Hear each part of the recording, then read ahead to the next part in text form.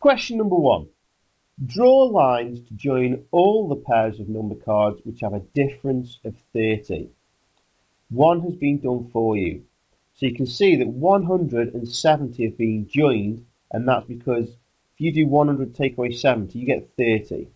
Now the easiest way to do this is to go down the left hand side and take each one one at a time so that we're not being random, we're doing it systematically. So let's have a look at 150.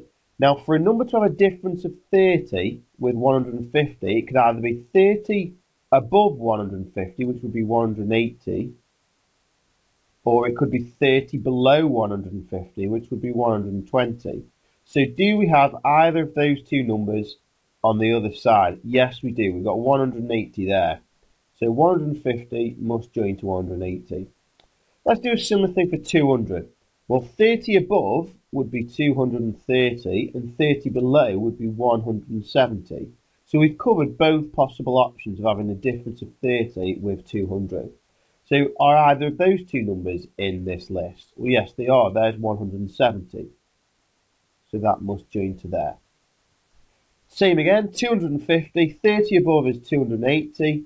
30 below is 220 and you can see that 220 is down here so that must join down there.